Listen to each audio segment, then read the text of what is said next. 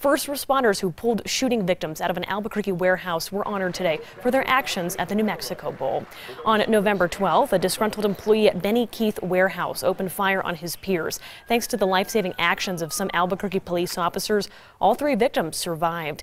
During halftime at today's New Mexico Bowl game, those officers were called out onto the field and thanked by the crowd.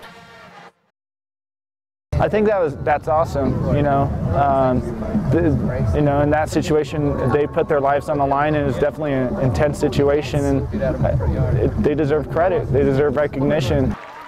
All six officers also posed with a special responder jersey.